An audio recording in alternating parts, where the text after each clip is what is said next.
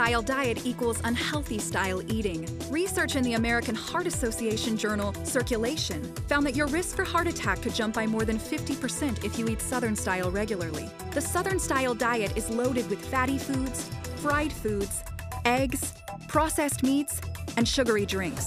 The people most likely to eat it were men, African Americans, people who didn't graduate from high school, and residents of the South.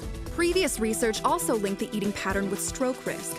No matter where you live, you should limit how often you eat fried foods and processed meats. Try baked or grilled foods and unsweetened drinks.